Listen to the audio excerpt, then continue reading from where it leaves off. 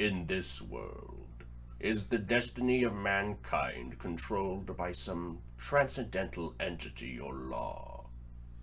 Is it like the hand of God hovering above? At least it is true that man has no control, even over his own will.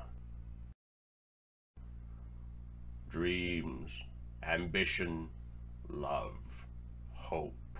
In this world, could the glories of a youthful heart be forbidden? Providence may guide a man to meet one specific person, even if such guidance eventually leads him to darkness. Man simply cannot forsake the beauty of his own chosen path.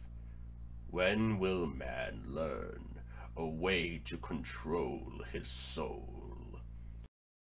A man draws his sword in order to protect the small wound deep in his heart. It was inflicted in the days long past at the farthest reach of his memories. A man wields his sword in order to depart life with a smile.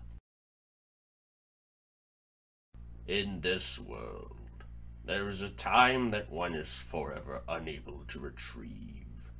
In pursuit for forgiveness, one is destined to atone by living through agony and letting time slip away. The sorrow in the furthest reaches of one's memory. The sorrow just beyond one's memory. Which is more heartbreaking?